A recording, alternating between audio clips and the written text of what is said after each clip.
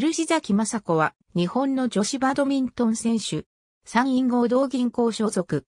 バドミントン日本代表ナショナルチームに選出されている。兵庫県出身。7歳からバドミントンを始める。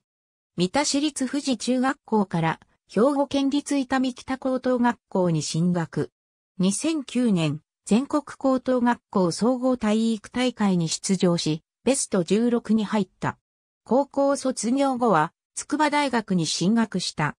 2014年、全日本学生バドミントン選手権大会で8年ぶりの団体優勝に貢献し、女子シングルスでも3位に入った。同年、全日本総合バドミントン選手権大会に出場。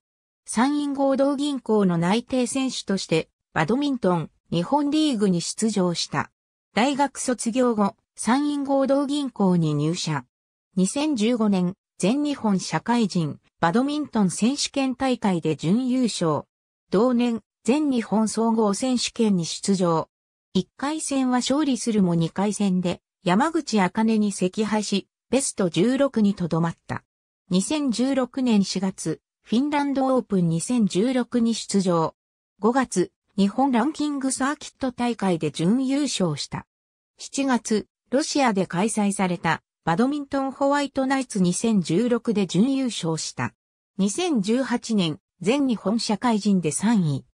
同年の全日本総合では2回戦で A 代表の佐藤沙恵香、準々決勝で B 代表の三谷美ナッツを破り、初めてベスト4に進出。準決勝で奥原希望に敗れたものの全日本総合での活躍が評価され、バドミントン日本代表に初めて選出された。2019年、スウェーデンオープン2019で優勝。